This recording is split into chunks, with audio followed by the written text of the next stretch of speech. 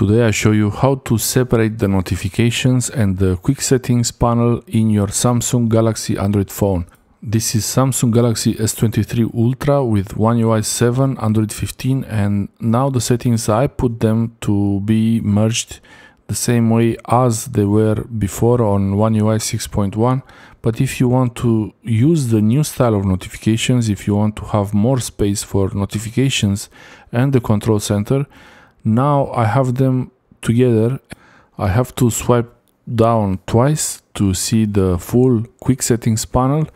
But if you have them separate, you wouldn't need to do that. So if this is what you want, if you want to see the new style of notifications and quick settings, you open the quick settings and open it again, swipe down again from the quick settings to see the pencil icon you need to see the pencil icon to go to the quick settings panel options.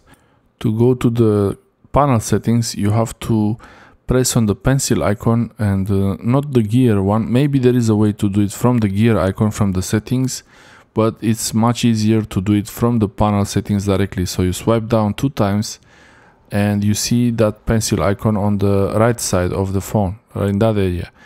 Now this will make it so you only open the quick settings when you swipe down from the top right and not from the center or top left.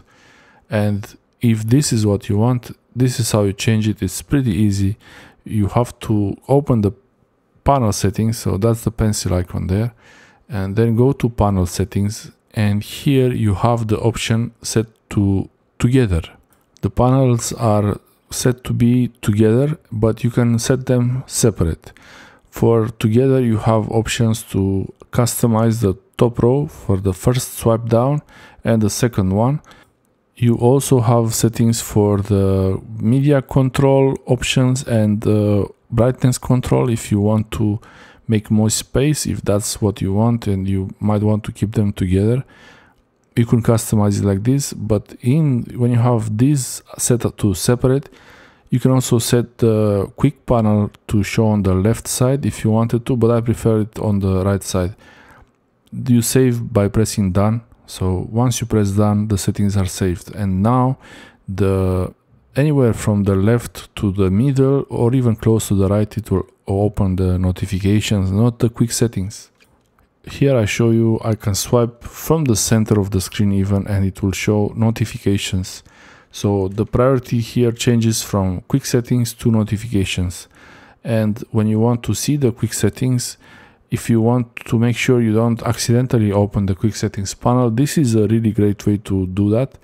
When you open the quick settings, you can also switch between notifications and quick settings by swiping left and right. So the same way you swipe left and right when you have the panels with apps, you can do the same things with the notifications and the quick settings panel.